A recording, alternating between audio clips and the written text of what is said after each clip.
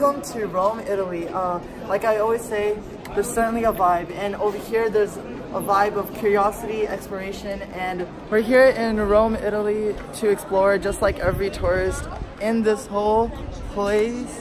And um, we waited in such a long line in the heat. It's so hot right now, but I mean, it's worth it. The, the, the view in the Colosseum is just something that I've always wanted to see in my life. And it's spectacular. In the heart of the Colosseum where literally gladiators fought and the Olympics happened and so much has happened in this very historical um, place. Oh, sorry, oh my god, sorry. And so, yeah, take a look.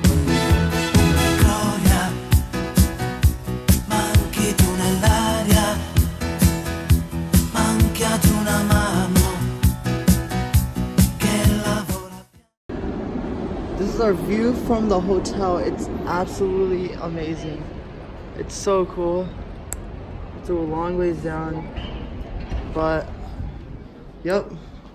And this is our two beds. And, yep, this is where we're going to be staying at night. So, yep. Uh, Six and a half hours later. welcome to Piazza Venezia. Oh, so we're exploring uh, Rome, Italy at night, and the next location we're going to go to is the Trevi um, Fountain, uh, which is another eight-minute walk from here. And uh, we just came with a such a sketchy bus, but I think we're fine, and we're gonna, yeah, we're gonna go. anche a questa bocca You just said, I think I'm not gonna put that in the vlog. Just kidding. Now off to Trevi Fountain. Gloria che lei la chiamo Gloria Gloria sui tuoi fianchi la mattina uh, Fountain, and look at this beauty. Like every time, I don't know if you guys can notice it on the camera, but every location I've gone to, like I've get, I've gotten chills just what, um, just looking at the the beautiful architecture and like everything about. It's just so pretty. So yeah, my ice cream. And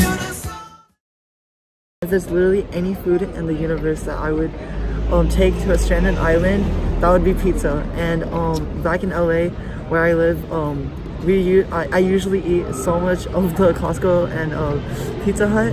And um, since we're in supposedly the birthplace of pizza, Italy, um, we're in a restaurant um, to try pizza. And so we're excited to tell you guys how this pizza is going to taste. Hey guys, I want you guys to meet my brother and my dad. We the hungry. We the hungry. we the hungry. Yeah, my brother's always hungry and he doesn't want to introduce himself. hungry. Daddy, you hungry. want to introduce yourself? hungry man, don't disturb us.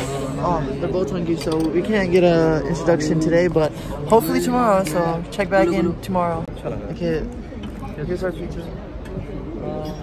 We just finished the pizza, and I think the uh, marinara sauce pizza without the cheese thing or whatever, the pizza was really good.